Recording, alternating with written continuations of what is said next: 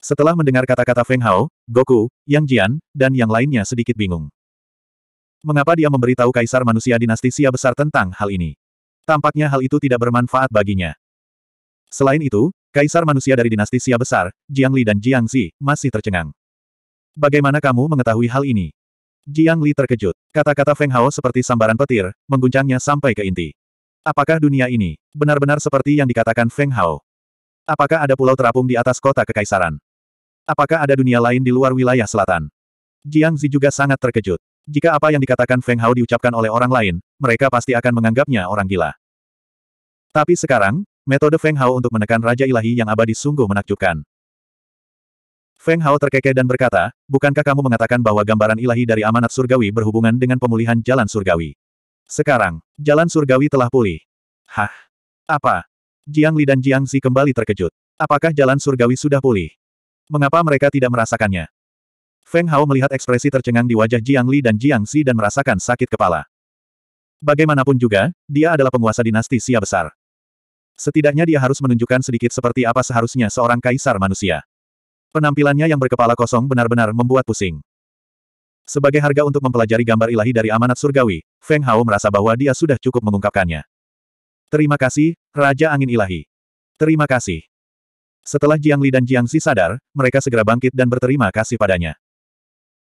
Terlepas dari apakah yang dikatakan Feng Hao itu benar atau tidak, dia telah memberitahu mereka banyak hal karena kebaikannya. Jika mereka tidak tahu bagaimana bersyukur, mereka akan dipandang rendah. Sekarang sudah larut, Raja Angin Ilahi dan semua tamu terhormat, mengapa kamu tidak tinggal di istana? Besok pagi, aku akan mengajakmu berkeliling. Jiang Li tersenyum dan menatap Feng Hao dengan sentuhan antisipasi di matanya. Jiang Zi mengangguk berulang kali. Oke, Feng Hao tidak menolak lamaran itu. Kaisar manusia sangat gembira dan segera membuat pengaturan. Segera, Feng Hao dan yang lainnya dibawa ke istana dinasti Sia Besar. Di ruang belajar kekaisaran, Kaisar manusia Jiang Li sedang mengobrol panjang lebar dengan saudaranya Jiang Zi. Mereka mencerna semua yang dikatakan Feng Hao kepada mereka. Pada saat yang sama, untuk memverifikasi apa yang dikatakan Feng Hao, keduanya sepakat bahwa mereka dapat mengirim praktisi puncak alam tahap ke-9 ke pantai wilayah selatan untuk melihatnya. Apakah memang ada dunia lain di wilayah laut tanpa batas? Jika itu terkait dengan dao surgawi, orang biasa pasti tidak akan tahu.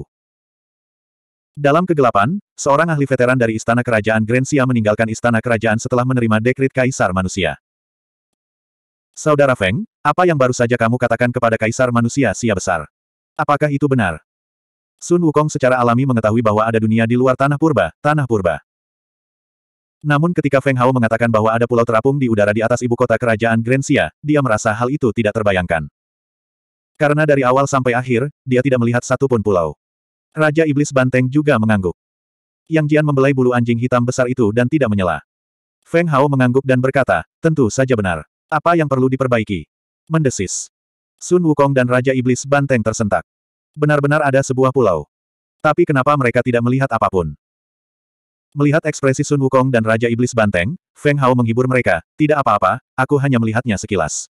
Tetaplah di Gritsia dan amati dengan cermat. Karena ada potret diriku di peta ilahi surgawi. Mandat, kalau begitu, kita pasti harus pergi ke pulau terapung itu. Sun Wukong mengangguk. Ini adalah sebuah masalah. Karena ini adalah pertama kalinya Feng Hao datang ke Tanah Purba, namun Gritsia memperoleh peta ilahi yang jatuh dari langit. Peta ilahi ini masih menggambarkan penampilan Feng Hao. Itu terlalu aneh. Keesokan paginya, Feng Hao, Sun Wukong dan yang lainnya bangun dari meditasi mereka. Saat ini, sudah ada lebih dari sepuluh pelayan di luar pintu, yang telah menyiapkan baju dan sepatu baru, serta perlengkapan mandi. Aku ingin mandi. Raja Iblis Banteng melihat ke arah salah satu pelayan terkemuka, yang tersipu, membungkuk sedikit, dan bertepuk tangan. Tidak lama kemudian, para kasih membawakan bak mandi dan air panas. Di saat yang sama, para pelayan berpakaian minim memasuki ruangan. Ya ampun, ya ampun. Perlakuan yang sangat bagus. Raja Iblis Banteng berdiri di samping bak mandi, dan para pelayan dengan pakaian minim mulai membuka pakaiannya. Raja Iblis Banteng tampak mabuk. Tempat ini luar biasa. Setelah mandi, Feng Hao, Sun Wukong, dan yang lainnya berganti pakaian baru yang dibawakan para pelayan, mereka terlihat berbeda. Para tamu, yang mulia sudah lama menunggu. Ketika semua orang hampir selesai mandi, seorang pelayan datang menyampaikan pesan tersebut. Di bawah bimbingan pelayan, Feng Hao, Sun Wukong, dan yang lainnya melihat Jiang Li, Jiang Zi, dan Jiang Meirou di taman hutan. Ketika ketiganya melihat Feng Hao dan yang lainnya, mereka berdiri dengan senyum ramah di wajah mereka. Apakah kamu merasa nyaman di istana? Kaisar manusia Jiangli memandang Feng Hao sambil tersenyum dan bertanya tentang kesejahteraannya. Feng Hao terkekeh dan berkata, Terima kasih, Kaisar manusia Jiang. Kamu terlalu baik, Raja Angin Ilahi. Suatu kehormatan bagiku kamu datang ke dinasti Sia Besar. Tolong. Jiang Li mengundang Feng Hao dan yang lainnya ke pavilion, dan segera, para pelayan membawakan makanan dan kue-kue. Feng Hao melihat sekilas dan menemukan sesuatu yang menarik, dan itu adalah, pelayan istana di istana dinasti Sia Besar. Jumlahnya lebih dari sekadar Kasim. Tepatnya, dia tidak melihat banyak Kasim. Dia hanya melihat mereka melakukan pekerjaan kasar di pagi hari. Setelah Feng Hao dan yang lainnya menyantap makanan lezat khas dinasti Sia besar, mereka dipimpin oleh Jiang Li dan saudaranya serta ditemani oleh orang suci Jiang Meirou. Mereka langsung meninggalkan istana besar itu. Mereka tidak membuat keributan besar dan memilih meninggalkan istana dalam penyamaran. Feng Hao tidak tahu ke mana kaisar manusia Jiang Li membawa mereka, tapi itu tidak masalah. Raja Angin Ilahi, aku akan membawamu ke tempat di mana kamu memperoleh peta ilahi dari dinasti amanat surgawi. Di sanalah tempat para kaisar dari dinasti Sia besar pergi untuk beribadah. Kaisar manusia Jiang Li dan Feng Hao berjalan berdampingan di atas kuda dengan warna yang sama. Jiang Zi bersandar sedikit ke belakang dan mulai mengobrol dengan Sun Wukong. Jiang Meirou tersipu dan berdiri di sisi kanan Feng Hao, diam-diam melihat sisi wajah Feng Hao. Dia tergoda. Tempat di mana para kaisar dinasti Xia besar pergi beribadah bukanlah di kota kekaisaran, melainkan di Gunung Tianzi, yang berjarak 10 km dari kota kekaisaran. Ketika sekelompok orang tiba di Gunung Tianzi, Feng Hao segera memahami sesuatu. Kemarin, ketika dia mengikuti Jiang Meirou ke kota kekaisaran, dia melihat pulau terapung di langit di atas Gunung Tianzi. Dia tidak bisa melihatnya nanti karena kereta binatang itu telah meninggalkan Gunung Tianzi. Feng Hao tidak menyangka akan menemukan petunjuk tentang pulau terapung itu secepat itu dan segera menantikan perjalanan ke Gunung Tianzi. 3642. Gunung Tianzi curam dan terjal. Ada tangga batu berkelok-kelok menuju ke atas. Ada 7000 langkah. Untungnya, Feng Hao dan yang lainnya bukanlah orang biasa. Di bawah kepemimpinan Kaisar Manusia Jiang Li dan Jiang Zi, kelompok tersebut menaiki lusinan anak tangga di setiap langkahnya. Setelah beberapa saat, mereka mencapai puncak. Ada sekelompok istana di puncak Gunung Tianzi. Istana-istana ini dibangun oleh keluarga kerajaan dinasti Xia besar dengan tujuan untuk mempersembahkan korban ke surga. Setelah Feng Hao mencapai puncak Gunung Tianzi, hal pertama yang dia lakukan adalah menoleh dan melihat ke arah kota kekaisaran Zongsu. Jika itu seperti yang dia harapkan. Pulau terapung yang menghilang sekali lagi muncul di hadapannya dan tidak menghilang lagi. Raja Angin Ilahi. Jiang Li dan Jiang Zi melihat Feng Hao melihat ke arah kota kekaisaran dengan bingung, jadi mereka juga melihat ke kejauhan. Tidak ada apa pun di langit kecuali awan yang bergulung. Apa yang bisa dilihat? Keduanya sedikit bingung. Setelah Feng Hao sadar kembali, dia menoleh untuk melihat Kaisar manusia Jiang Li dan bertanya, ketika Kaisar dinasti Xia besar mempersembahkan korban ke surga, apakah ada fenomena? Fenomena. Jiang Li dan Jiang Zi saling pandang dan menggelengkan kepala. Sepertinya belum pernah ada fenomena apa pun sebelumnya. Feng Hao tenggelam dalam pikirannya. Karena tidak ada fenomena, itu berarti. Apa yang disebut upacara pemujaan surgawi dinasti Xia besar tidak ada hubungannya dengan Pulau Terapung. Namun, meski tidak ada hubungannya dengan pemujaan, itu jelas ada hubungannya dengan Gunung Tianxi. Kekuatan spiritual Feng Hao menyebar dan menutupi seluruh Gunung Tianxi. Lalu, dia sedikit terkejut. Jadi begitu. Bibir Feng Hao membentuk senyuman. Dalam kehendak spiritualnya, sebenarnya ada formasi susunan besar di dalam perut Gunung Tianxi. Tidak.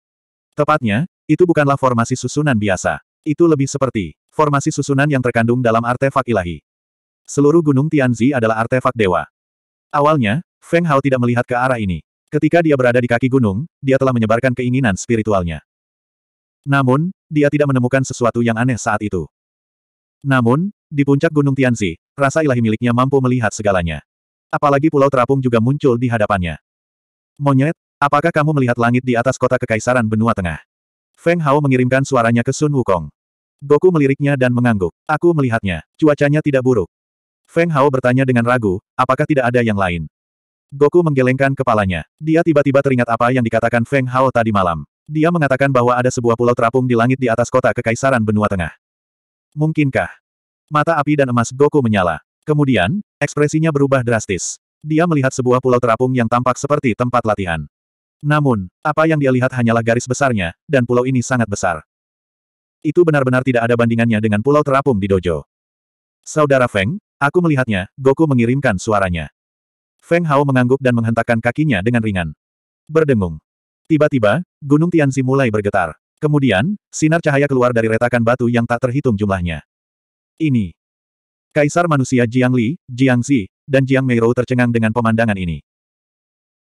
Saudara Kaisar, Gunung Tianzi adalah tanah leluhur, dan menurut legenda, itu adalah asal mula urat naga Grensia, tapi sekarang. Jiang Zi tiba-tiba panik. Gunung Tianzi adalah tempat Kaisar Xia Agung memuja surga. Pasti ada alasan kenapa dia memilih tempat ini. Sinar cahaya warna-warni adalah bukti terbaiknya. Tapi sekarang, sepertinya Gunung Tianzi akan runtuh. Feng Hao dengan paksa membangunkan senjata ilahi yang tertidur di dalam Gunung Tianzi dan berkata kepada Jiang Li, bahwa semua orang turun gunung. Raja Angin Ilahi, apa yang sebenarnya terjadi? Gunung Tianzi. Gunung Tianzi adalah gunung suci Gritsia. Kaisar manusia Jiang Li merasakan sakit yang menusuk di dadanya. Betapa tidak berbaktinya. Mereka sebenarnya mengubah tanah leluhur menjadi negara bagian ini. Namun ketika dia melihat sorot mata Feng Hao, ditambah fakta bahwa dialah yang membawa Feng Hao ke sini. Jiang Li hanya bisa mengertakkan gigi dan menelannya. Ayo kita tinggalkan tempat ini dulu. Aku takut terjadi sesuatu. Kaisar manusia Jiang Li dan Jiang Xi tidak mengatakan apa pun lagi. Mereka membawa Jiang Meirou dan yang lainnya menuruni Gunung Tianzi. Dengan budidaya alam tahap ke-9, Void Step hanyalah operasi dasar. Ketika semua orang meninggalkan Gunung Tianzi, hanya menyisakan Feng Hao saja, Gunung Tianzi yang semula retak memperlihatkan pulau di langit di atas kota Kekaisaran Benua Tengah untuk sesaat. Saudara Kekaisaran, lihat ke arah kota Kekaisaran. Jiang Zi tiba-tiba tampak seperti baru saja melihat hantu. Kaisar manusia Jiang Li tertegun sejenak dan buru-buru menoleh. Itu, itu pengadilan surgawi kuno. Mata kaisar manusia Jiang Li membelalak dan dia benar-benar tercengang. Pada saat ini, banyak ahli dan warga Central State Imperial City juga melihatnya. Namun situasi ini tidak berlangsung lama. Pulau terapung itu berangsur-angsur memudar dan menghilang. Itu seperti Fata Morgana. Pada saat ini, guncangan Gunung Tianzi menjadi stabil dan retakannya juga telah selesai diperbaiki.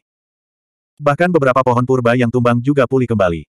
Gunung Tianzi, berhubungan dengan pengadilan surgawi kuno. Kaisar manusia Jiang Li tidak bodoh. Dengan sedikit berpikir, dia tahu bahwa kemunculan pulau terapung itu ada hubungannya dengan Gunung Tianzi. Jiang Zi hanya bisa menghela nafas, Raja Angin Ilahi memang tak terkalahkan. Menurut legenda, alasan mengapa Dao Surgawi layu adalah karena lenyapnya pengadilan surgawi kuno. Dan jika pengadilan surgawi kuno muncul kembali, itu berarti bahwa Dao Surgawi akan segera pulih. Berdengung. Kaisar manusia Jiang Li mendengar kata-kata Jiang Zi dan kepalanya berdengung. Dia melihat sosok Feng Hao di puncak Gunung Tianzi dan mengaguminya dari lubuk hatinya. Dia tidak menyangka, apa yang dikatakan Feng Hao semuanya benar. Asal-usul senjata ilahi ini tidak sederhana. Feng Hao melihat Gunung Tianzi diinjak olehnya, dan gunung yang runtuh tiba-tiba pulih. Saat itu, dia tahu bahwa senjata suci di dalam Gunung Tianzi bukanlah senjata biasa. Feng Hao setengah berjongkok di tanah dan menyingsingkan lengan kanannya, memperlihatkan tato kilin di lengan kilinnya. Ha! Tinju Feng Hao langsung mengenai gunung. Setelah itu, gunung mulai berguncang hebat lagi. Bumi berguncang dan gunung berguncang lagi. Pulau terapung di langit di atas kota kekaisaran muncul sekali lagi. Namun, semua ini terjadi dengan sangat cepat dan menghilang dengan cepat. Tidak butuh waktu lama hingga semuanya menghilang. Gunung Tianzi sekali lagi pulih ke tampilan aslinya. Gunung Tianzi ini luar biasa. Raja Iblis Banteng terdiam di kaki gunung. Bahkan lengan kilin Feng Hao bisa menahannya. Jika Gunung Tianzi ini memiliki semangat, dia bisa menyombongkan diri selama sisa hidupnya. Hati Goku sangat terguncang. Mata apinya menyapu, tetapi dia menyadari bahwa dia tidak bisa melihat penampakan asli Gunung Tianzi. Itu seperti gunung biasa. Oh, oh. Tiba-tiba, awan gelap berkumpul di langit di atas Gunung Tianzi. Energi spiritual antara langit dan bumi melonjak, seolah hari kiamat sudah dekat. Kemudian, aura luas dan tak tertandingi yang tampaknya mampu menghancurkan langit dan bumi muncul di langit di atas Gunung Tianzi. Di atas sembilan langit, samar-samar terlihat bayangan kapak muncul. Persetan denganku. Sial. Mata Goku dan Raja Iblis Banteng hampir keluar dari rongganya saat melihat pemandangan ini.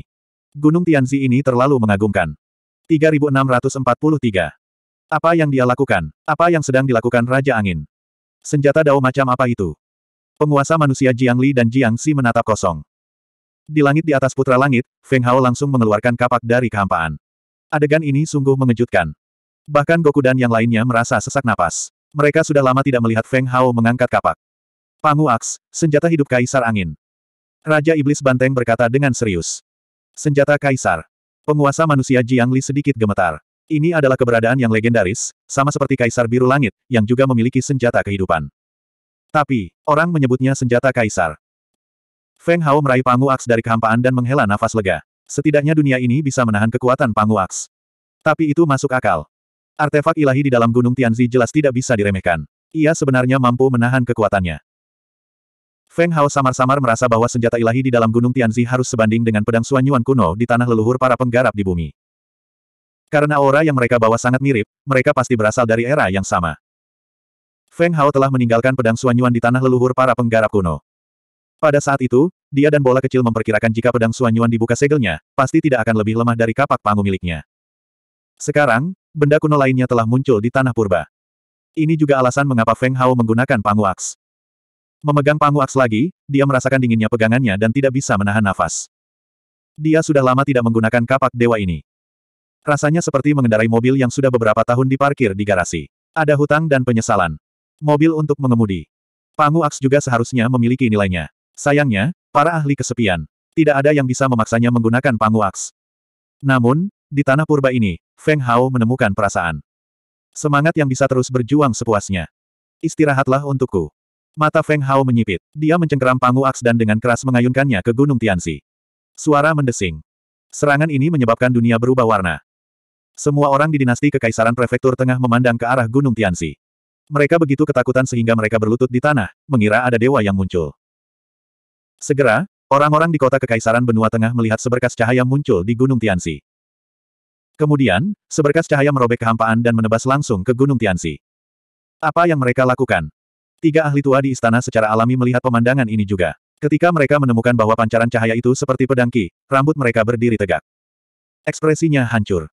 Itu adalah tanah leluhur klan Jiang di Gritsia, orang yang membunuh Tiandao. Ketiga lelaki tua itu tidak lagi peduli dengan pertahanan istana kekaisaran dan langsung terbang ke arah Gunung Tianxi. Gemuruh. Bas. Tiba-tiba, Aurora muncul dan menyapu sekeliling Gunung Tianxi. Semuanya layu dalam sekejap. Dunia terdiam. Di kaki Gunung Tianxi, Sun Wukong dan Kaisar Manusia Sia Besar segera mengambil posisi bertahan. Lapisan demi lapisan cahaya transparan menyelimutinya. Ketika cahaya yang memenuhi langit menghilang, Kaisar Manusia Jiang Li dan yang lainnya memandang Gunung Tianxi dengan keheranan di mata mereka. Ini. Kaisar Manusia Jiang Li merasa mulutnya kering. Dia tidak berani memercayai matanya.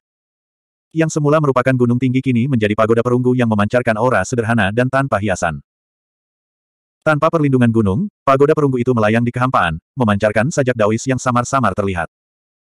Adapun Feng Hao, dia turun dari kehampaan dengan kapak pangu di tangan. Dengan penindasan Feng Hao, kapak pangu tidak menunjukkan tanda-tanda kebocoran energi. Oleh karena itu, kapak itu tidak terlihat berbeda dari kapak dewa biasa. Lihat. Jiang Meirou menunjuk ke arah kota kekaisaran benua tengah. Pada saat ini, sebuah pulau terapung besar muncul di langit di atas kota kekaisaran. Itu menjadi padat. Itu seperti istana abadi yang terapung. Jiang Zi mengeluarkan sebuah buku kuno dari suatu tempat dan membaliknya. Akhirnya, dia berhenti di halaman tertentu. Aku tahu apa ini, Jiang Zi sangat gembira. Dia berkata dengan penuh semangat, benda di dalam Gunung Tianzi ini adalah salah satu dari sepuluh senjata kaisar yang legendaris. Pagoda Haotian. Pagoda Haotian yang legendaris menghilang. Saya tidak menyangka itu terjadi di Gunung Tianzi. Dan istana abadi itu memang pengadilan surgawi kuno, tapi mungkin hanya salah satu sudutnya. Alasan mengapa Gunung Tianzi merupakan urat naga adalah karena pagoda Haotian adalah senjata kaisar.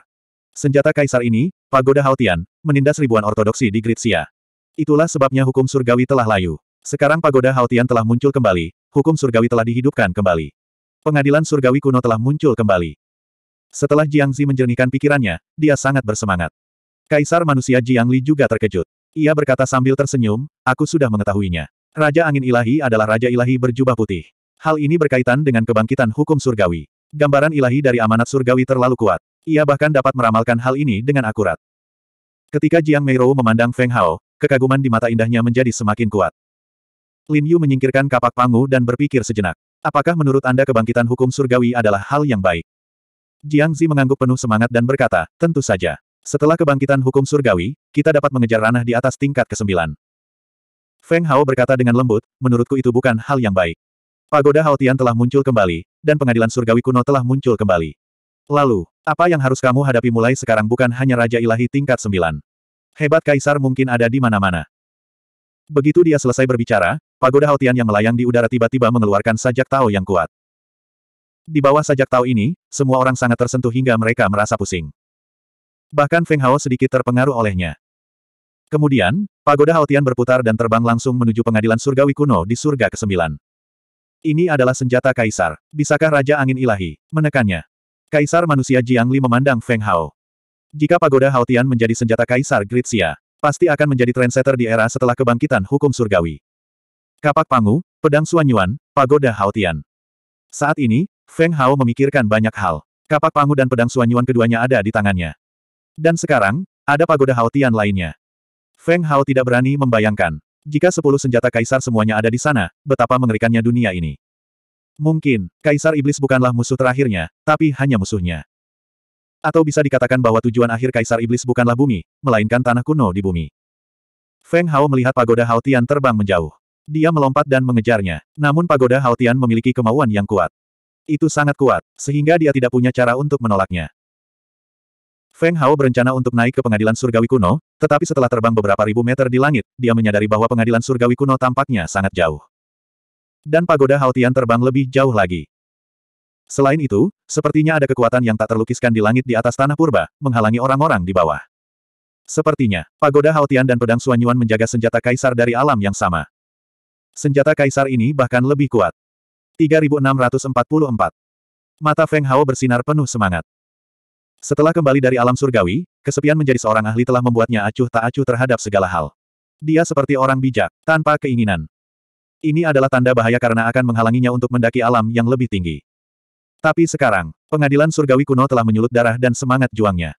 Feng Hao tidak membuka segelnya dengan paksa. Ada terlalu banyak hal yang tidak diketahui di negeri purba. Dia tidak mau mengambil risiko. Dia turun dari surga ke-9 dan mendarat di samping kaisar manusia Jiangli. Saat dia melihat gunung Tianzi lagi. Sudah ada lubang besar di sana. Raja Angin Ilahi. Raja Angin Ilahi. Angin Senior. Jiangli, Jiangzi, dan Jiang Meirou membungkuk, mata mereka penuh hormat. Ini adalah orang luar biasa yang memulai kebangkitan jalan surgawi. Gelar kaisar manusia dan kepala keluarga Jiang mereka terlalu lemah. Mereka bahkan merasa bahwa Raja Angin Ilahi berasal dari pengadilan surgawi kuno. Kalau tidak, mengapa gambar ilahi dari amanat surgawi memiliki penampilan seperti Raja Angin Ilahi? Tentu saja. Itu hanya dugaan apakah gambar ilahi itu berasal dari pengadilan surgawi kuno atau bukan. Feng Hao menggelengkan kepalanya. Meskipun kita bisa melihat pulau terapung, kita tidak bisa naik. Bahkan puncak alam ke-9 pun tidak. Jiang Zi sedikit kecewa. Jiang Li mengangguk. Tidak apa-apa. Jalan surgawi telah dihidupkan kembali. Selama kita menerobos alam ke-9 dan memasuki alam ke-10, kita bisa naik ke pengadilan surgawi kuno. Oh. Mata Feng Hao berbinar. Ada hal seperti itu.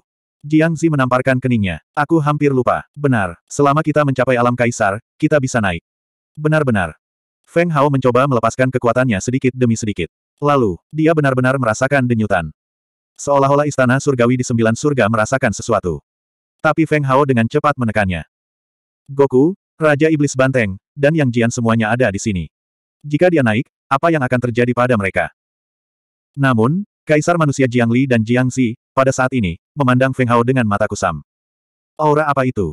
Mengapa rasanya seperti alam kaisar? Tidak, lebih tepatnya, dia sudah berada di puncak alam kaisar agung. Jiang Li dan Jiang Zi saling bertukar pandang. Mereka berdua merasa bisa menyebut Feng Hao sebagai kaisar angin di masa depan. Raja Dewa. Dia sama sekali tidak layak untuk Feng Hao. Kaisar angin, barusan kamu. Jiang Zi menatap kosong ke arah Feng Hao seolah-olah dia melihat hantu. Kamu sudah menjadi kaisar yang hebat. Feng Hao terkekeh. Kamu bisa berpikir seperti itu. Merasa. Kaisar manusia Jiang Li dan Jiang Zi menghirup udara dingin. Mereka tiba-tiba mengerti mengapa Raja Dewa Mayat hidup berteriak dengan sedih. Jika mereka diinjak-injak oleh keberadaan yang begitu menakutkan, mereka juga akan melolong dengan sedih. Apa yang akan kita lakukan sekarang? Apakah Anda ingin melanjutkan tur ke Gritsia? Jiang Li memandang Feng Hao dan bertanya. Feng Hao memikirkannya dan menggelengkan kepalanya. Ayo kembali. Baiklah, ayo kembali. Jiang Li juga ingin kembali ke istana untuk mencerna berita tersebut dan berdiskusi dengan saudaranya Jiang siapa yang harus dilakukan di masa depan. Selain itu, gunung leluhur Gunung Tianzi telah hilang. Akan sulit untuk menjelaskannya kepada leluhur keluarga Jiang. Jiang Li, Jiang Xi, kalian berdua anak yang tidak berbakti. Bicaralah tentang iblis. Ketiga leluhur keluarga Jiang bergegas ke Gunung Tianzi. Ketika mereka melihat tanah leluhur berubah menjadi lubang, mereka sangat marah hingga gemetar. Mereka bahkan mengeluarkan tongkat emas setebal lengan dan berteriak, hari ini, saya akan menguliti kalian berdua hidup-hidup. Kami. Kaisar manusia Jiang Li terkejut saat melihat leluhurnya serius. Dia dengan cepat bersembunyi di balik Feng Hao. Feng Hao sedikit terkejut saat melihat adegan ini. Jiang Li adalah kaisar Sia Raya. Ketiga lelaki tua ini tidak memberinya wajah sama sekali. Namun, Feng Hao tidak ingin mencampuri urusan keluarga Jiang. Dia mengambil langkah ke depan dan sudah berada 10 meter jauhnya. Kaisar manusia Jiang, kaisar ini dan teman-temanku akan pergi duluan. Dengan itu, Feng Hao meninggalkan kaki Gunung Tianzi bersama Sun Wukong dan yang lainnya. Jiang Li dan Jiang Zi memiliki wajah pucat. Ketika keduanya melihat nenek moyang menyerang mereka dengan pentungan emas, mereka berlari ketakutan. Leluhur. Jiang Meirou menghentakkan kakinya dengan cemas. Dia memandang Feng Hao, lalu ayah dan pamannya yang melarikan diri. Pada akhirnya, dia memilih untuk mengabaikannya. Dia buru-buru mengejar Feng Hao. Tunggu aku. Kaisar manusia Jiang Li melihat putrinya telah melarikan diri bahkan tanpa berusaha membujuk leluhurnya. Dia jengkel. Gadis dewasa tidak bisa ditahan di rumah. Ah, leluhur, jangan. Setelah Feng Hao, Sun Wukong, dan yang lainnya, termasuk empat makhluk kuno, kembali ke istana. Sekitar dua jam kemudian, Jiang Renhuang dan Jiang Xi kembali ke istana. Namun, ketika mereka kembali, wajah mereka bengkak, seperti baru saja dipukuli. Jiang Renhuang dan Jiang Xi langsung menuju istana tempat Feng Hao dan yang lainnya berada. Kaisar Angin, mengapa kamu meninggalkan kami? Jiang Renhuang berkata dengan wajah sedih. Dia adalah kaisar manusia dari Xia Agung, tetapi leluhurnya tidak menahan diri sama sekali. Jika bukan karena kultivasinya yang tinggi, dia pasti akan kehilangan satu lengan atau satu kaki. Namun, mereka merasa sangat dirugikan. Karena mereka tidak kehilangan Gunung Tianxi. Itu adalah Kaisar Angin. Feng Hao berkata dengan serius, saya orang luar. Bagaimana saya bisa mengganggu urusan keluarga Anda? Petik dua petik dua. Jiang Renhuang dan Jiang Li membeku. Mereka ingin mengatakan, Gunung Tianzi tidak ada hubungannya dengan mereka. Namun pada akhirnya, mereka tidak berkata apa-apa. Bagaimanapun, mereka sangat mengkhawatirkan kebangkitan hukum surgawi. Sekarang hukum surgawi telah bangkit kembali dan gunung leluhur telah hilang, mereka dapat menerima pukulan. Setelah memikirkan hal ini dengan matang, keduanya akhirnya merasa sedikit lebih baik. Saat ini, Feng Hao berkata, berapa banyak dinasti seperti milikmu yang ada di tanah purba? Siapakah Kaisar Biru Langit? Kamu tidak kenal Kaisar Angin. Jiang Renhuang terkejut. Sebagai seorang kaisar, Feng Hao tidak tahu siapa Kaisar Azure itu. Siapa yang tahu? Ada berapa dinasti? Feng Hao berkata dengan jujur, saya tidak tahu. Petik dua petik dua. Jiang Renhuang terkejut. Jiang Zi berkata, lima dinasti. Sia besar kita terletak di tengah tanah purba, juga dikenal sebagai dinasti benua tengah. Itulah mengapa kota kekaisaran ini disebut kota kekaisaran benua tengah. Empat kota kekaisaran lainnya adalah kota kekaisaran benua utara, kota kekaisaran benua selatan, kota kekaisaran benua timur, dan kota kekaisaran benua barat. Adapun Kaisar Azure, dia adalah satu-satunya kaisar di tanah purba setelah hukum surgawi layu. Feng Hao bertanya, apakah dia masih di tanah purba atau sudah naik ke pengadilan surgawi kuno? Jiang Zi berkata dengan serius, tentu saja dia masih berada di tanah purba. Dengan layunya hukum surgawi, kita tidak hanya tidak dapat mencapai alam kaisar, tetapi ahli alam kaisar juga tidak dapat naik. Feng Hao terkekeh. Bagaimana Kaisar Azure bisa menjadi seorang kaisar? Itu sebabnya, kamu tidak bisa menyalahkan hukum surgawi karena tidak menerobos. Itu tidak menyinggung perasaanmu. Petik dua tanda tanya tanda tanya tanda tanya petik dua. Jiang Li dan Jiang Xi tercengang. Ada hal seperti itu. 3645. Kaisar manusia Jiang Li ragu-ragu untuk waktu yang lama sebelum berkata, sepertinya itu karena Jiang Xi dan aku bodoh. Jiang Li tidak lagi menyebut dirinya kaisar. Karena di hadapan Kaisar Agung Feng Hao, akan sangat tidak sopan menyebut dirinya Kaisar Agung. Ya, Jiang Li dan saya bodoh, itu tidak ada hubungannya dengan Dao Surgawi. Jiang Xi tersadarkan oleh kata-kata saudaranya. Dia memandang Feng Hao dan berkata dengan tulus, jadi, kami berdua berharap menjadi murid Kaisar Feng. Hem. Kaisar manusia Jiang Li tercengang. Apakah pantas menjadi murid Kaisar Feng? Juga, mengapa Jiang Zi memiliki pemikiran seperti itu, mungkinkah? Dia salah memahami apa yang saya katakan. Jika tidak, dengan pengetahuan dan bakat Jiang Zi, dia tidak akan mengabaikan Jiang Li dan membuat keputusan seperti itu. Dia bahkan telah menjual saudara lelakinya bersama mereka. Jiang Li memikirkannya dengan hati-hati. Dari apa yang dia katakan tadi, sepertinya dia sangat ingin menjadi murid Feng Hao. Jiang Li menantikannya tanpa alasan. Menjadi murid kaisar sepertinya hanya memiliki keuntungan dan tidak ada kerugian. Itu setara dengan menemukan pendukung besar. Namun, Feng Hao tidak mau menerima murid, jadi dia menggelengkan kepalanya dengan tenang dan berkata, saya tidak punya niat menerima murid. Ini. Kaisar manusia Jiang Li dan Jiang Si tercengang. Mereka masih memikirkan manfaat menjadi murid Lin Yu dan berusaha mencerahkan diri mereka sendiri. Siapa yang tahu, Kaisar Feng tidak berniat menerima murid. Pada saat itu, suasana di aula tiba-tiba menjadi sunyi. Feng Hao terkekeh. Sebenarnya, dia memiliki kesan yang baik terhadap kaisar manusia sia besar, Jiang Li dan Jiang Xi. Keduanya tidak berpura-pura dan secara alami bebas dan santai. Orang-orang seperti mereka tidak cocok menjadi raja, tetapi mereka menjadi raja. Apalagi kedua bersaudara itu tidak bertarung sampai mati demi memperebutkan tahta atau semacamnya. Mereka seperti aliran sungai yang jernih di keluarga kerajaan.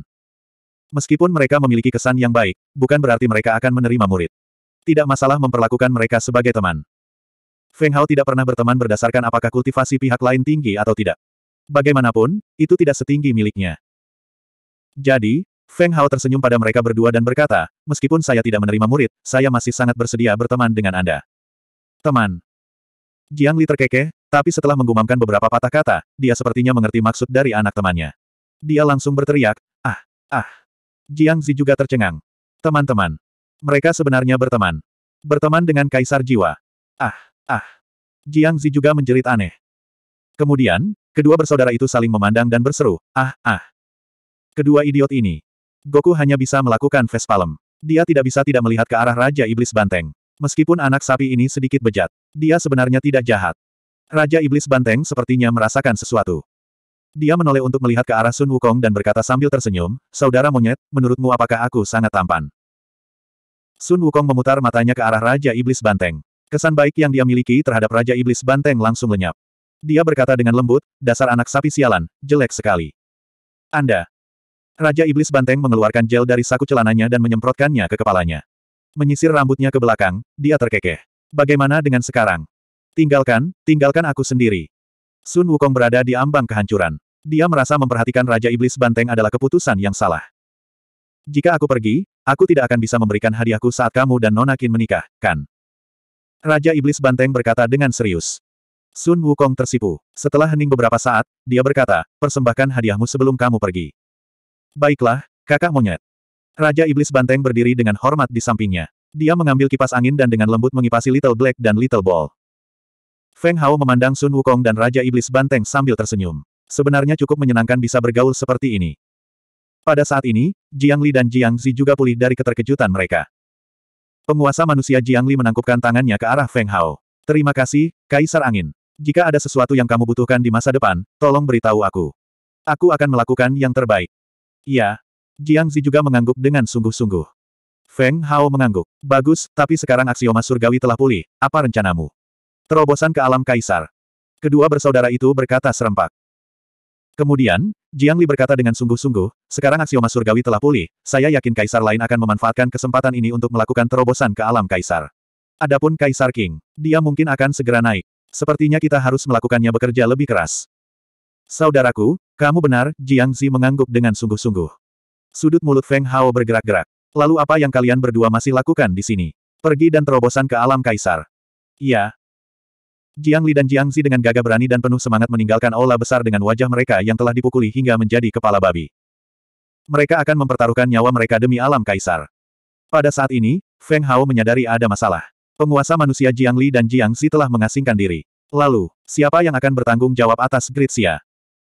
Baru pada hari berikutnya Feng Hao memahami bahwa penguasa manusia Xia besar adalah seorang pemimpin spiritual. Suatu negara memiliki departemen terkait untuk menjalankan berbagai hal. Jiang Li dan Jiang Zi hanya perlu berbicara pada saat yang genting. Inilah kebenaran dunia kultivasi. Jika menjadi penguasa manusia berarti segalanya harus dilakukan, apakah masih ada waktu untuk berkultivasi? Feng Hao tidak peduli lagi dengan Jiang Li dan Jiang Zi. Dia memanggil Goku, Raja Iblis Banteng, Yang Jian, dan yang lainnya. Keempat makhluk purba memanfaatkan kesempatan langka ini untuk bersembunyi di sudut istana dan berkultivasi dalam pengasingan. Setelah semua orang berkumpul, Feng Hao bertanya, Monyet, apa pendapatmu tentang kebangkitan Dao Surgawi yang disebutkan oleh penguasa manusia Jiang?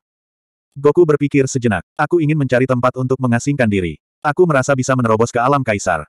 Feng Hao mengangguk. Yang disebut alam kaisar, menurut pendapatnya, hanyalah alam supremasi. Itu bahkan tidak sebanding dengan alam umum ilahi. Kultivasinya telah pulih ke alam roh abadi. Dia hanya selangkah lagi dari alam dewa kuno. Adapun Goku, budidayanya harus berada di puncak alam dewa ilahi. Dia hanya selangkah lagi dari alam supremasi.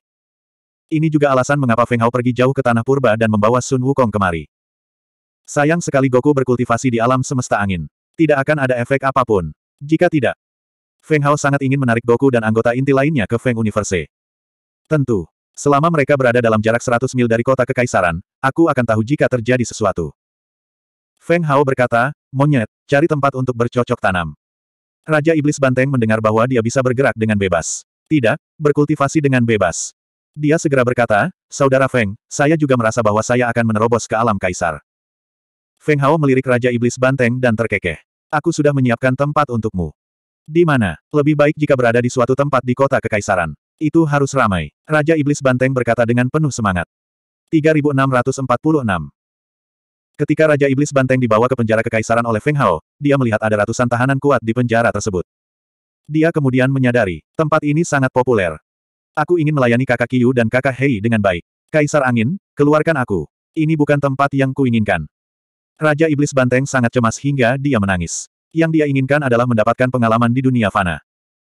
Feng Hao berkata dengan acuh tak acuh, kamu harus mengendalikan keadaan pikiranmu dengan benar. Jika tidak, tidak peduli seberapa tinggi tingkat kultivasimu. Itu akan tetap menjadi kastil di udara. Ketika keadaan pikiranmu stabil, aku secara alami akan membiarkanmu keluar. Setelah mengatakan ini, Feng Hao pergi ke penjara. Saudara Feng. Raja Iblis Banteng berseru keras, tapi selain tepuk tangan dari rekan-rekan tahanannya, tidak ada jawaban lain. Saudaraku, kultivasimu sangat lemah, namun kamu dijebloskan ke penjara. Apa yang kamu lakukan? Setelah tepuk tangan, beberapa pria parubaya yang tinggi dan kekar membungkuk, dan sudut mulut mereka melengkung. Kultivasi yang lemah. Saya. Raja Iblis Banteng hendak melepaskan auranya, tetapi dia terkejut saat mengetahui bahwa budidayanya telah tersegel. Sekarang, dia sama dengan para penonton di luar Demon Subduing Mountain, hanya di alam tahap ke-6. Dan orang-orang yang dikurung di penjara setidaknya berada di alam tahap ke-7 atau ke-8.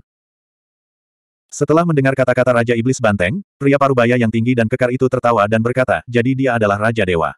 Maaf, maaf. Ekspresi Raja Iblis Banteng sangat jelek.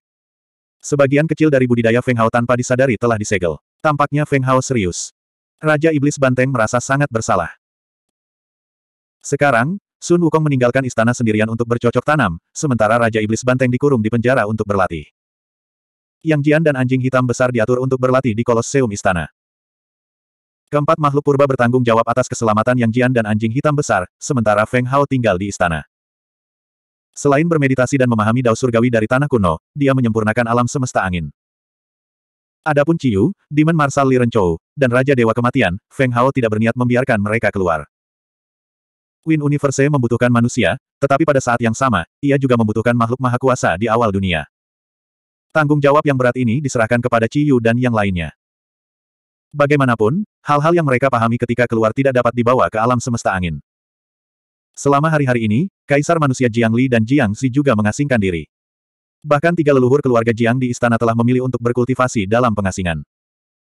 Sekarang Dao Surgawi telah terbangun, siapa yang tahu kapan Dao Surgawi akan layu sekali lagi.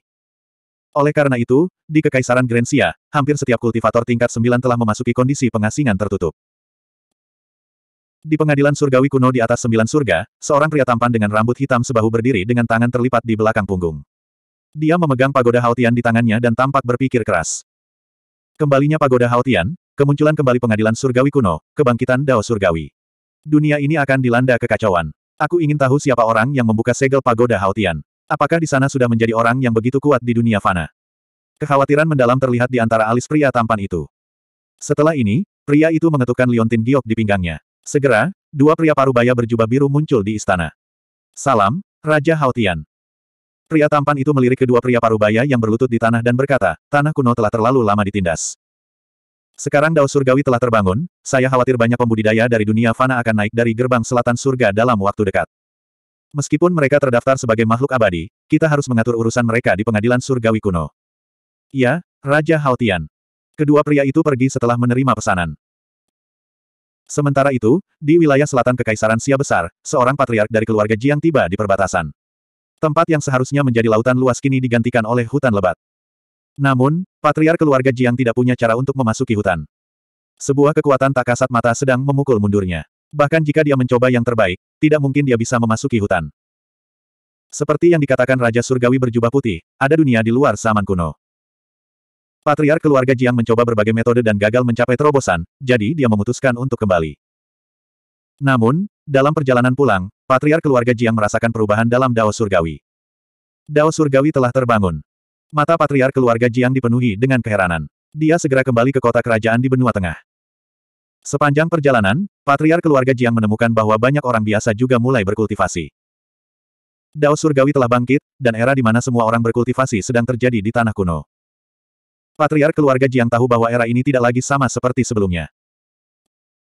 Di antara lima dinasti di negeri kuno, hanya kekaisaran Sia besar yang telah membangkitkan Dao Surgawi. Ketika berita kebangkitan Dao Surgawi Kekaisaran Sia Besar menyebar ke dinasti lain. Semakin banyak ahli dari dinasti lain yang datang ke Kekaisaran Sia Besar.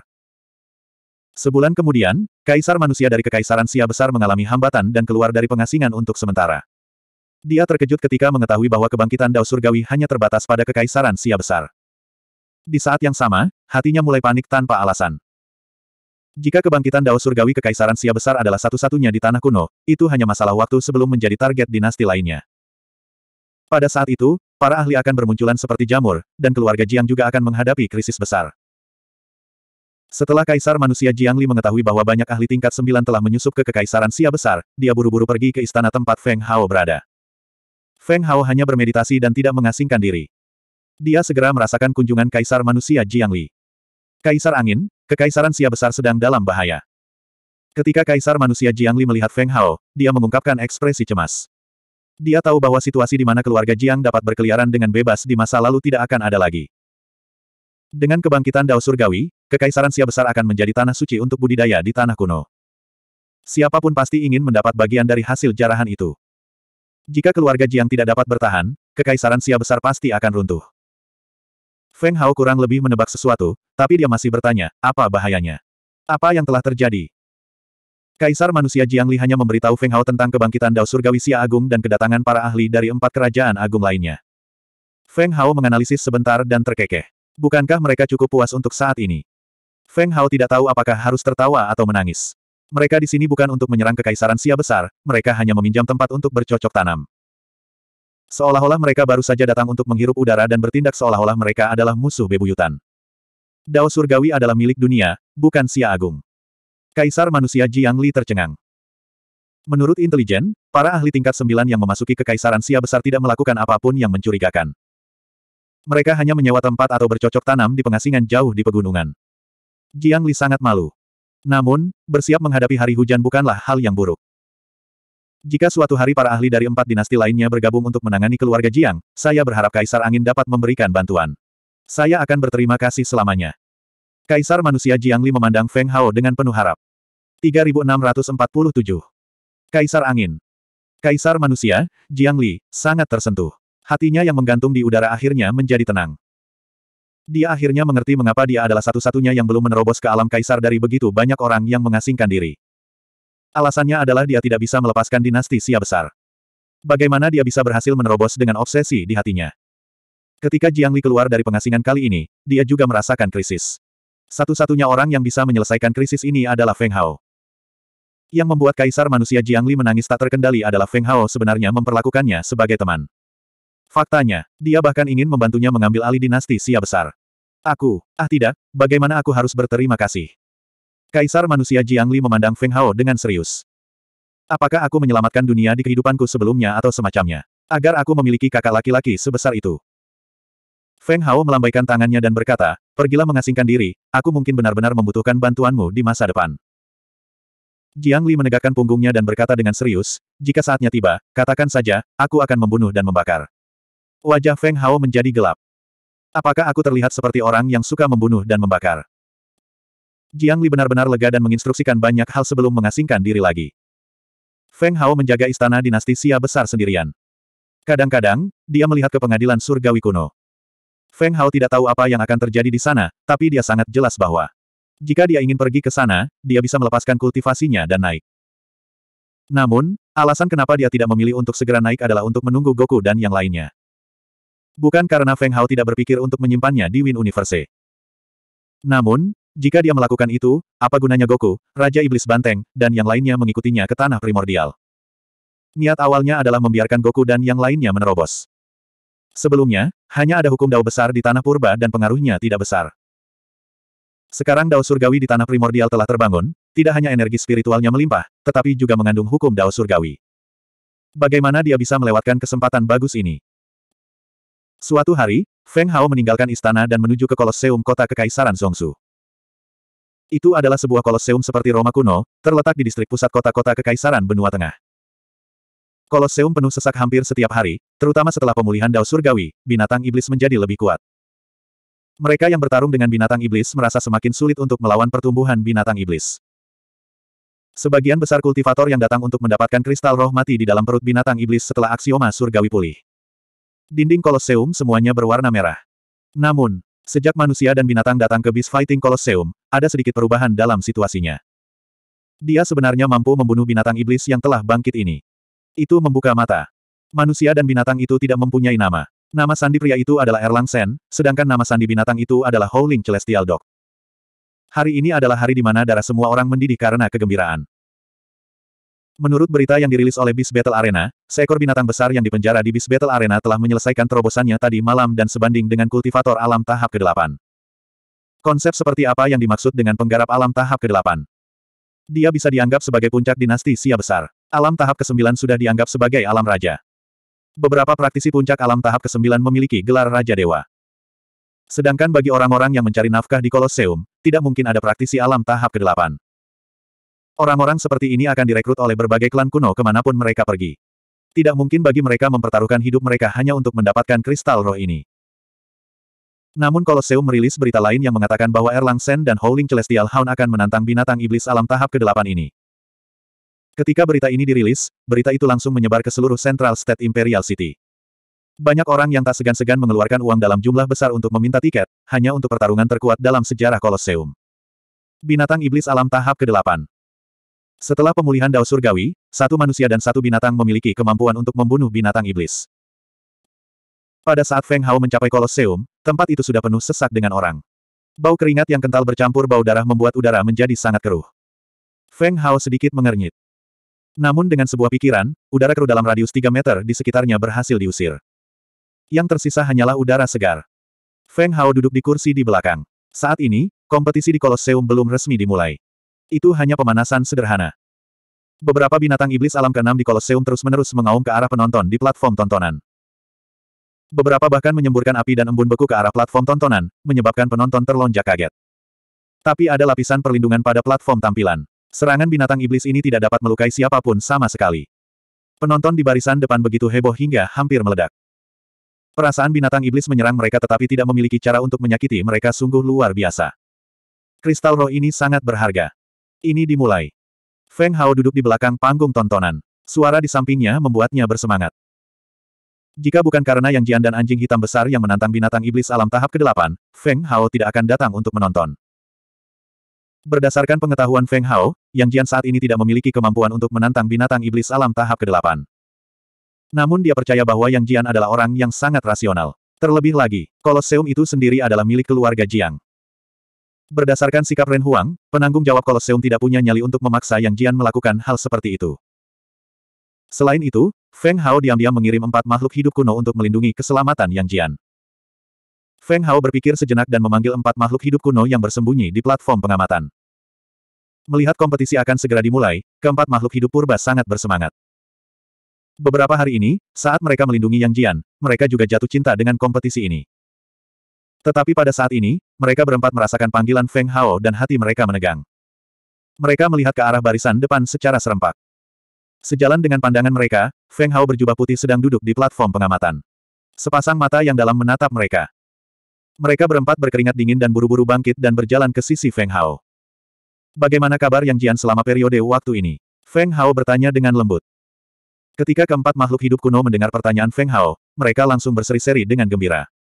Luar biasa, bakat Yang Jian terlalu menakutkan. Semakin kuat dia bertemu, semakin kuat dia jadinya. Setiap kali aku mengira dia akan kalah, rasanya seperti ada binatang buas di tubuhnya, meletus dengan potensi yang sangat mengejutkan. Benar, ini adalah junior dengan potensi paling menakutkan yang pernah kita lihat. Bahkan aku ingin menerimanya sebagai murid. Itu benar. Keempat makhluk hidup purba masih ingin melanjutkan. Tepat pada saat ini, setelah keributan di panggung tontonan, semua binatang iblis alam tahap ke-6 di Beast Battle Arena dikejar ke dalam kandang. Setelah itu, sebuah pintu perunggu besar terbuka dan pancaran aura kuat seperti gelombang panas menyelimuti seluruh Beast Battle Arena. Bahkan susunannya tidak dapat memblokirnya. Dan di seberang pintu, seorang pria dan seekor anjing keluar. Itu adalah Yang Jian dan anjing hitam besar. Demikian pula, gelombang aura melonjak ke langit. Melolong-melolong. Di panggung pengamatan Kolosseum, banyak orang mulai melolong dan menggosok telapak tangan mereka dengan penuh semangat. 3648. Bakat Yang Jian tidak buruk. Feng Hao merasakan aura Yang Jian dan bibirnya melengkung. Dibandingkan beberapa hari yang lalu, Yang Jian telah menjalani baptisan darah di Bestial Battle Arena dan telah mengalami transformasi total. Jika Yang Jian hanyalah seorang bayi yang menangis sedih meminta makanan beberapa hari yang lalu, maka dia sekarang adalah seorang pemuda yang bisa membawa pedang dan pedang. Hehe, aku ingin tahu apakah Yang Jian memiliki seorang guru. Jika memungkinkan, kami berempat ingin menerimanya sebagai murid terakhir kami. Makhluk kuno tersenyum pada Feng Hao. Feng Hao melihat keempat makhluk kuno di sampingnya dan memikirkan budidaya Dewa Langit Purba di atas alam kaisar. Dari mana orang-orang ini mendapatkan keberanian untuk merebut murid dari penguasa surga purba? Yang Jian tidak memiliki master untuk saat ini tetapi orang yang membimbing budidayanya setara dengan ahli alam kaisar di tanah kuno. Feng Hao berkata dengan lembut. Apa? Aku. Mundur, mundur. Keempat makhluk hidup kuno tidak bisa menahan diri untuk tidak menyeka keringat mereka. Itu sangat menakutkan. Di atas wilayah kaisar, mereka telah menghadapi puncak kesembilan Raja Dewa Mayat hidup dan hampir kehilangan nyawa mereka, jadi hak apa yang mereka miliki untuk merebut murid dari pakar alam kaisar? Feng Hao tidak lagi berbicara dengan empat makhluk hidup kuno saat tatapannya tertuju pada Yang Jian di Bestial Battle Arena. Seperti yang lainnya, Feng Hao juga menantikan pertempuran yang akan datang. Yang Jian saat ini seharusnya berada di alam Kaisar Agung, yang berada di sekitar alam tahap ke-8. Tapi dibandingkan dengan binatang iblis, dia jelas tidak sebaik itu. Binatang iblis dilahirkan untuk bertarung.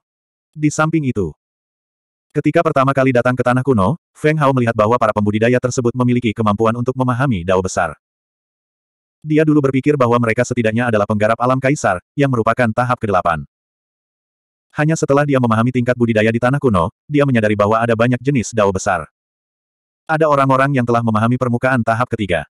Ada orang-orang yang sedikit lebih kuat dari tahap keempat. Namun dalam hal ranah budidaya dan kekuatan tempur, para penggarap biasa yang dilihat Feng Hao di kota tanpa nama seharusnya hanya berada di sekitar ranah tahap keempat, yang merupakan eksponen kuat Wu Huang. Namun, itu hanya di tanah purba. Setelah meninggalkan tanah purba dan pergi ke dunia luar, tanpa kemampuan untuk memahami dao besar, dia mungkin tidak akan begitu ganas. Feng Hao menggabungkan alam dunia tanpa batas dengan alam tanah purba. Itu bisa dilihat sebagai Wu Huang tahap keempat, tahap kelima dari Mortal Saint, tahap keenam dari Great Sage, tahap ketujuh dari Kaisar Agung setengah langkah, tahap kedelapan dari Kaisar Agung, tahap kesembilan dari Dewa Ilahi, tahap kesepuluh dari tertinggi alam Kaisar, tahap kesebelas dari Jenderal Ilahi, tahap kedua belas dari Roh Abadi, tahap ketiga belas dari Dewa Kuno, dan tahap keempat belas dari Leluhur Dao. Sekarang, budidaya Feng Hao hanya selangkah lagi untuk kembali ke alam Dewa Kuno. Ini adalah tingkat ke-13 tanah purba. Adapun Kaisar Rilem tahap ke-10, seseorang bisa naik. Bisa dibayangkan bahwa dengan kekuatan Feng Hao saat ini, tidak akan menjadi masalah baginya untuk memerintah seluruh tanah primordial. Namun, mustahil baginya untuk mengarahkan pandangannya ke tanah purba, kecuali pengadilan surgawi kuno. Pagoda Haotian adalah eksistensi yang hanya bisa dikendalikan oleh ahli alam roh abadi tahap ke-12. Jika tidak, Feng Hao tidak perlu menggunakan kapak pangu untuk membuka Gunung Tianxi. Keributan di telinganya semakin lama semakin padat. Ketika Feng Hao sadar kembali, dia melihat binatang iblis yang memancarkan aura menakutkan keluar dari pintu perunggu.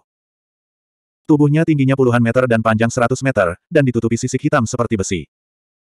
Ini adalah binatang iblis yang terlihat mirip dengan badak, dan auranya sangat menakutkan. Di Bestial Battle Arena, Yang Jian memegang pedang berujung tiga dan bermata dua di tangannya. Sebuah mata tiba-tiba terbuka di antara alisnya, menampilkan kemampuan mata surgawi. Jelas, Yang Jian telah memutuskan untuk berusaha sekuat tenaga. Lagi pula, bahkan jika Yang Jian adalah Kaisar Agung tahap ke-8, dia tidak bisa melawan aura binatang iblis itu dengan mudah. Menggunakan kemampuan mata surgawi pada saat pertama memungkinkan Yang Jian menangkap pergerakan binatang iblis raksasa dan memperlambatnya tanpa batas di matanya. Ibarat kucing, gerakan ular pun sudah sangat cepat, namun di mata kucing seperti menghadapi ulat. Yang Jian telah mengembangkan cukup banyak pengalaman pertempuran di Bestial Battle Arena. Jelas, dia telah menderita banyak kerugian sebelumnya, jadi dia tahu untuk menggunakan kemampuan mata surgawi sejak awal untuk mencegah serangan diam-diam dari binatang iblis licik itu. Mengaum. Badak lapis baja besi kekerasan mengangkat kepalanya dan meraung, lalu menunjukkan postur kuat yang tidak sesuai dengan ukurannya. Seperti macan tutul, ia menerkam ke arah Yang Jian. Cakarnya seperti batu giling, dan siapa pun yang ditamparnya akan mati. Kecepatan yang sangat cepat. Yang Jian terkejut. Gerakan badak lapis baja besi kekerasan ini sungguh menakutkan, hampir di luar jangkauan kemampuan mata surgawi miliknya. Hitam besar, jelajahi, serang. Setelah Yang Jian menginstruksikan anjing hitam besar itu, dia menggunakan Heavenly Halberd untuk menghindari serangan badak lapis baja besi kekerasan, dan pedang bermata dua berujung tiga segera menebas ke arah tanduk raksasa badak lapis baja besi kekerasan. Sial! Suara benturan logam bergema di seluruh bestial battle arena. Penonton yang tak terhitung jumlahnya di tribun penonton buru-buru menutup telinga mereka, ekspresi mereka penuh dengan keterkejutan. Semua orang sangat menyadari kekuatan pedang bermata tiga dan bermata dua milik Yang Jian. Tidak hanya bisa menembus logam seperti lumpur, ia juga bisa membunuh binatang iblis level 7 seperti membunuh ayam. Itu sangat tajam. Tapi sekarang, pedang berujung tiga dan bermata dua itu hampir bengkok. Bisa dibayangkan betapa mengerikannya pertahanan badak lapis baja besi yang keras ini. Mengaum. Anjing hitam besar itu juga kaget. Ia berpindah ke posisi yang sesuai, dan cakarnya yang besar langsung mencakar pantat badak lapis baja besi kekerasan. Bagaimanapun, ini adalah kelemahan sebagian besar binatang iblis. Namun, cakar yang mencakar pantat badak lapis baja kekerasan ini baik-baik saja, tetapi cakarnya langsung patah. Kesunyian. Terjadi keheningan yang mematikan di Bestial Battle Arena. Tak terkalahkan. Badak lapis baja besi yang keras praktis merupakan eksistensi yang tidak terkalahkan. Binatang iblis ini benar-benar tidak normal. Makhluk purba itu merasakan sakit gigi pada saat itu. Kali ini, Yang Jian pada dasarnya tidak memiliki peluang. Karena, pertahanan badak lapis baja besi yang keras terlalu mengejutkan. Hanya dengan pantatnya saja ia mampu mematahkan cakar anjing hitam besar itu. Jika ia menabrak tubuh badak lapis baja besi kekerasan, tengkoraknya mungkin akan hancur. Badak lapis baja besi yang keras adalah binatang purba. Dikabarkan bahwa ketika ia dilahirkan, ia sudah memiliki budidaya alam tahap ke-8. Ketika ia dewasa, bahkan senjata kaisar pun tidak dapat mematahkan sisiknya. Orang yang bertanggung jawab atas Bestial Battle Arena berkata dengan suara yang jelas. Wow! Kerumunan menjadi gempar. Apakah itu menakutkan? Lalu bagaimana cara mereka menangkapnya? Orang yang bertanggung jawab atas Bestial Battle Arena melanjutkan, kami beruntung bisa mengambil sebutir telur di jurang tanah spiritual dan menetas. Badak lapis baja besi yang keras itu sangat gila, ia tidak akan berhenti sampai ternoda darah. Petik 2. Mendesis. Kerumunan menghirup udara dingin. Di matanya, Badak lapis baja besi kekerasan hanyalah seukuran lalat, sangat lemah sehingga bahkan tidak bisa menahan satu pukulan pun dari Yang Jian. Jika bukan karena dia hanya melihat Yang Jian dan anjing hitam besar di Bestial Battle Arena, jika tidak, dia tidak akan menyerang keberadaan yang lemah seperti itu. Mengaum. Badak lapis baja besi yang keras menyerang lagi, langsung memaksa Yang Jian ke sudut Bestial Battle Arena. Kemudian, cahaya merah muncul di matanya. Dan ia membalikkan tubuhnya ke samping, langsung mengenai Yang Jian. Tubuhnya yang besar secara langsung memblokir semua rute pelarian Yang Jian. Tabrakan ini, Yang Jian pasti akan hancur berkeping-keping. Mengaum. 3649. Erlang Sen, akhirnya bukan dewa lagi. Anjing surgawi yang melolong, hanya bisa melolong ke langit. Petik 2 petik 2. Di platform tontonan Beast Fighting Colosseum, banyak orang menggelengkan kepala dan menghela nafas. Erlang Sen yang membuat darahnya mendidih akhirnya terjatuh. Sama seperti para penggarap lainnya yang menandatangani kontrak hidup dan mati, mati di dalam perut binatang iblis adalah takdir abadi mereka. Itu juga merupakan takdir yang tidak bisa diubah. Di mana orang-orang dari Kolosseum? Jika Erlang Sen pergi, Laozi tidak akan pernah menggantikanmu lagi. Benar, selamatkan Erlang Sen. Selamatkan Erlang Sen. Melihat Yang Jian dan anjing hitam besar mungkin mati di tangan badak lapis baja besi yang kekerasan, para penonton berdarah panas dan termotivasi yang senang melihat Erlang Sen kembali semuanya mulai menyerang orang yang bertanggung jawab atas Kolosseum. Kami, kami tidak punya pilihan lain. Orang yang bertanggung jawab atas Kolosseum sangat ketakutan sehingga wajahnya berubah menjadi hijau saat dia berkata dengan suara gemetar, hanya ketika badak lapis baja besi yang kekerasan membunuh lawannya dan mencium aroma darah barulah ia akan tenang. Hanya dengan begitu kita dapat menekannya. Itu, sejak dilepaskan, kecuali ada yang membunuhnya. Apa? Wajah para penonton menjadi pucat. Tidak ada harapan. Erlang Sen tidak ada harapan. Pada saat ini, badak lapis baja besi kekerasan telah sepenuhnya menutup semua rute pelarian Yang Jian. Apakah ini takdirku? Yang Jian memegang pisau berujung tiga dan bermata dua di tangannya saat mata di dahinya terus berkedip. Delapan sembilan seni misterius diedarkan secara ekstrim. Tidak ada jalan keluar. Yang Jian kemudian melihat ke arah anjing hitam besar yang gila itu dan berkata, cepat pergi, jangan pedulikan aku. Mengikuti raungan marah Yang Jian, tubuh besar badak lapis baja besi kekerasan akhirnya bertabrakan dengannya. Retakan. Di tribun kolosseum yang sunyi, suara ringan tulang yang pecah bergema di seluruh kolosseum seperti guntur. Aduh, Anjing hitam besar itu melolong ke arah langit seolah-olah telah kehilangan kepercayaannya dan jatuh lemas ke tanah. Para penonton di tribun tidak bisa menahan diri untuk tidak memejamkan mata. Legenda Colosseum, satu manusia dan satu anjing, memiliki kejayaan yang tak terbatas pada awalnya, namun pada akhirnya, mereka tetap jatuh ke tangan binatang iblis. Kaisar Angin Makhluk hidup purba awalnya ingin bergerak, tetapi gerakan badak lapis baja besi kekerasan terlalu cepat. Ketika mereka menoleh untuk melihat Feng Hao, mereka langsung terkejut. Feng Hao telah menghilang. Mereka berempat secara naluriah melihat ke tempat yang Jian berada di Kolosseum, dan mata mereka berbinar.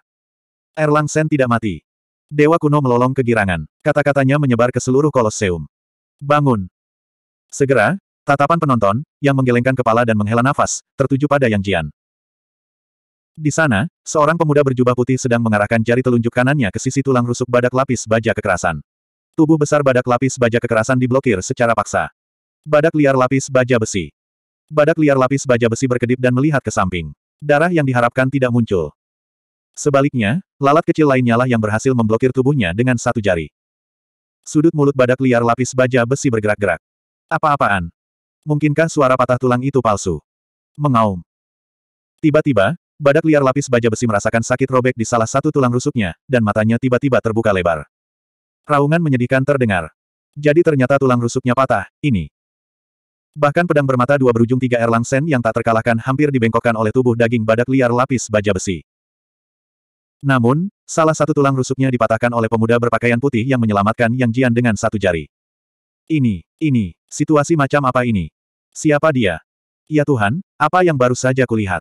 Satu jari bahkan lebih menakutkan daripada pedang bermata dua berujung tiga milik Erlang Sen dan cakar King Kong milik anjing surgawi yang melolong mendesis. Keheningan yang berdiri tiba-tiba meletus dengan suara gemuruh yang mengguncang langit. Itu adalah keterkejutan, keributan, ketidakpercayaan, dan teriakan histeris. Luar biasa. Ketika penanggung jawab Kolosseum melihat pemandangan ini, dia juga tercengang. Kontestan macam apa ini? Badak liar lapis baja besi kekerasan yang tak terkalahkan di Kolosseum, yang tubuh dagingnya bahkan tidak dapat dirusak oleh Raja Ilahi, sebenarnya. Salah satu tulang rusuknya patah oleh satu jari pemuda berpakaian putih itu. Tuhanku, Feng Hao menjentikkan jari badak liar lapis baja kekerasan, memandang Yang Jian dan berkata, kamu telah meningkat pesat. Sayangnya, ada satu hal yang tidak kamu lakukan dengan baik, dan itu adalah, sebelum naik ke panggung, kamu tidak melakukannya tidak punya pemahaman atau analisis apa pun tentang lawanmu. Yang Jian menundukkan kepalanya karena malu dan berkata, murid ini tahu kesalahannya. Pada saat ini, anjing hitam besar itu juga berjalan sambil mengibaskan ekornya, menggosokkan dirinya ke celana Feng Hao sebelum berjalan ke sisi Yang Jian. Feng Hao tersenyum dan berkata kepada Yang Jian, bakatmu luar biasa. Untuk dapat mencapai tahap seperti itu dalam beberapa hari singkat, aku sudah memiliki tingkat rasa hormat yang baru padamu. Pergi dan istirahatlah, serahkan ini padaku. Iya. Yang Jian membawa anjing hitam besar itu dan langsung berjalan menuju pintu keluar di samping. Pada saat ini, Master Formasi Kolosseum buru-buru membuka celah. Bagaimanapun, identitas Yang Jian tidaklah kecil. Dia adalah tamu yang mulia Kaisar. Baru saja, mereka mengira Yang Jian pasti sudah mati dan hampir kencing di celana karena ketakutan. Untungnya, pemuda berpakaian putih itu muncul. Tetapi, apa yang membuat para master formasi merasa terkejut dan tidak percaya adalah bahwa mereka sama sekali tidak merasakan sedikitpun riak dari formasi tersebut. Lalu, bagaimana pemuda berpakaian putih ini bisa memasuki koloseum? Tidak dapat diselesaikan. Namun keberadaan lain yang tidak dapat dipecahkan. Hah, hah, hah. Mata badak lapis baja kekerasan berubah menjadi ungu. Tubuh Yang Jian berlumuran darah binatang iblis yang tak terhitung jumlahnya dan menjadi target perburuannya. Tapi, pihak lain lolos. Dan sekarang, ada lalat lain di depannya. Kuncinya adalah lalat ini sangat mendominasi. Ia menusuk dan mematahkan salah satu tulang rusuknya. Sangat menakutkan. Tapi, dalam garis keturunan ras badak lapis baja yang penuh kekerasan, tidak pernah ada kata mundur. Badak lapis baja yang keras tidak akan pernah mengaku kalah. Retakan. Badak lapis baja yang keras hanya meraung. Sebelum ia bergerak, suara patah tulang kembali terdengar. Apa yang sedang terjadi? Siapa yang bergerak lagi? Kemudian, badak lapis baja kekerasan mengangkat kepalanya dan melihat Feng Hao di udara. Namun seketika, bola matanya melihat bahwa tanduk banteng besar di keningnya benar-benar patah. Rusak. Rusak. Mengaum. Badak lapis baja yang keras langsung menjadi gila. Tidak heran suaranya sangat jernih. Sebenarnya itu adalah suara klakson banteng yang pecah. Retakan. Badak lapis baja yang keras meraung lagi. Dan harga yang diberikan Feng Hao adalah tendangan lain di wajah badak lapis baja kekerasan. Saat itu, tiga gigi kuning besar seukuran batu besar jatuh ke tanah. Mengaum. Badak lapis baja yang penuh kekerasan tercengang. Orang seperti apa yang ditemuinya? Apakah ada orang yang menindasnya seperti ini? Apakah dia berani bergerak agar terlihat jelas? Apakah dia berani melambat sedikit? Bisakah dia menggunakan lebih sedikit kekuatan? Juga, apakah dia berani untuk tidak memukul wajahnya? Kesunyian. Sejak Feng Hao menjentikan puluhan ribu ton daging badak lapis baja kekerasan, para penonton sudah berada dalam keheningan yang mematikan. Ekspresi mereka membeku, tetap terlihat tercengang. Apakah ini kekuatan yang dimiliki manusia? Atau, apakah ini badak lapis baja kekerasan palsu? Kontestan macam apa orang ini? Banyak orang yang menamparkan wajahnya sendiri. 3650. Feng Hao maju selangkah. Hati badak besi gila menegang. Ia panik dan terus mundur. Ia menatap Feng Hao dengan ketakutan. Ini. Penonton di tribun kaget. Badak lapis baja kekerasan sebenarnya telah mundur. Sangat menakutkan. Binatang raksasa yang sebesar gunung itu benar-benar ketakutan. Feng Hao ingin mempertahankan badak besi gila di alam semesta angin, tetapi memikirkan Qi Yu dan Li Renchou, serta tubuh kurus Raja Dewa Mayat Hidup. Jika orang ini masuk, dia akan menjadi monster terkuat di alam semesta angin. Qi Yu dan yang lainnya mungkin tidak akan mampu menekannya. Terlalu kuat. Siapa sebenarnya dia? Mata banyak orang bersinar karena keserakahan. Mereka tidak sabar untuk melihat baik-baik wajah Feng Hao. Ini adalah orang ke-10 Kaisar Rilem. Kalau tidak, bagaimana badak besi gila bisa begitu ketakutan? Alam Kaisar ke-10. Menakutkan. Banyak orang merasa akan meledak. Adegan ini terlalu menarik. Badak besi gila tidak mencium bau darah. Betapapun takutnya, tubuhnya terasa sangat tidak nyaman. Seolah-olah ia tidak bisa melihat darah. Tidak, itu kecanduan darah. Ia harus melihat darah. Kalau tidak, rasa sakit di pembuluh darahnya akan lebih menyakitkan daripada beberapa tulang rusuk yang patah atau beberapa gigi yang rusak. Mengaum. Ekstasi lapis baja besi dengan paksa menyuntik dirinya sendiri dengan darah ayam. Matanya yang besar tiba-tiba berubah menjadi merah, seperti kolam yang diwarnai merah darah. Darah. Badak besi gila gelisah. Akhirnya, ia tidak bisa menahan rasa haus darahnya lagi. Itu dibebankan pada Feng Hao lagi. Bumi bergetar. Seluruh koloseum sepertinya akan runtuh. Kenapa mengganggu? Feng Hao menggelengkan kepalanya. Dia tidak ingin membunuh, tapi terkadang, dia terpaksa melakukannya. Lalu dia akan membunuh. Saat ini, badak besi gila telah tiba. Dengan tubuhnya yang besar, dampaknya bahkan bisa meratakan gunung. Tetapi, Feng Hao baru saja mengulurkan telapak tangannya. Bang! Suara keras bergema di seluruh koloseum. Lantai di sekitar Feng Hao langsung retak, seolah-olah bom yang tak terhitung jumlahnya telah meledak di tanah. Kekuatannya sungguh menakjubkan. Ketika ubin lantai terciprat ke formasi susunan pertahanan, beberapa master formasi susunan segera batuk darah. Sial, aku hampir mati. Aku orang pertama yang mati karena formasiku sendiri.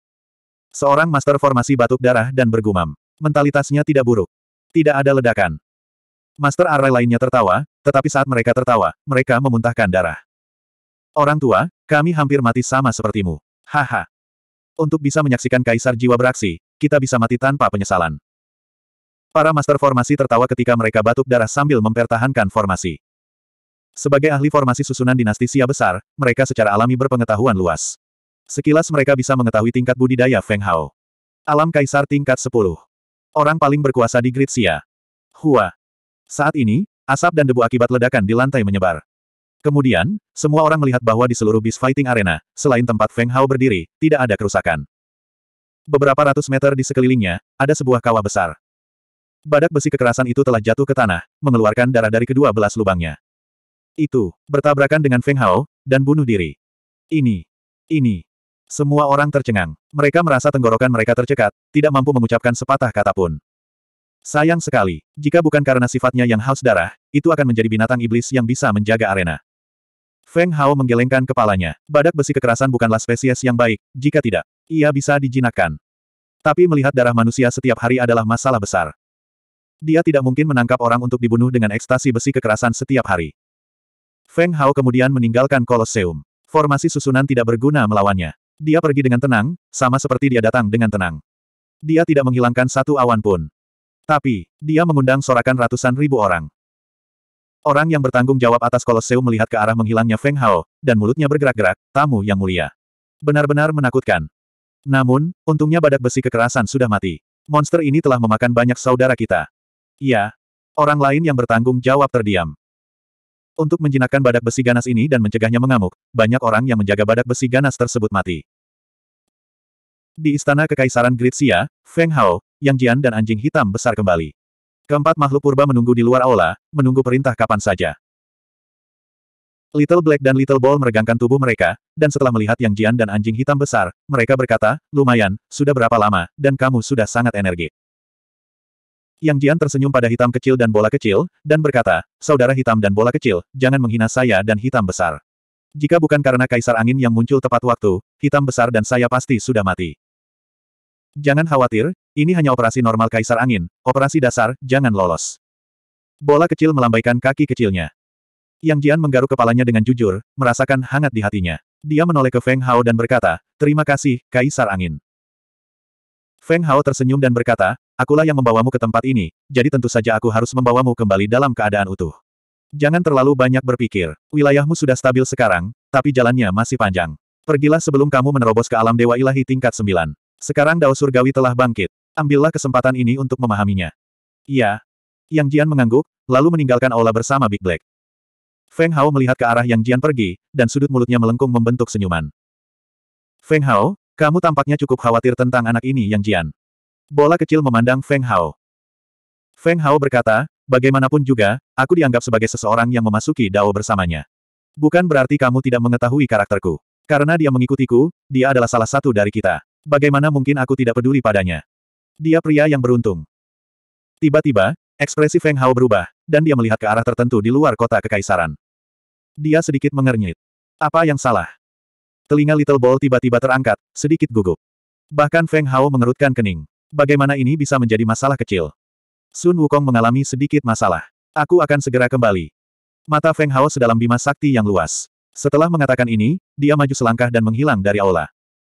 Baiklah, budidaya Feng Hao akan pulih ke tingkat keabadian, kata bola kecil sambil menghela nafas lega. Kalau begitu kita harus bekerja keras juga. Ayo, kita tidur. Baiklah, tidur adalah kultivasi. Jangan ketinggalan terlalu jauh di belakang Feng Hao, jangan sampai dia mengolok-olok kita. Orang itu sangat jahat. 300 mil jauhnya dari kota kekaisaran Gritsia, Sun Wukong mengalami sedikit masalah. Ini adalah tanah spiritual yang sangat cocok untuk bercocok tanam, dan dikelilingi oleh pegunungan tinggi. Dia sedang bercocok tanam di samping air terjun, dan ada banyak monyet di sini. Di belakang air terjun ada gua budidaya.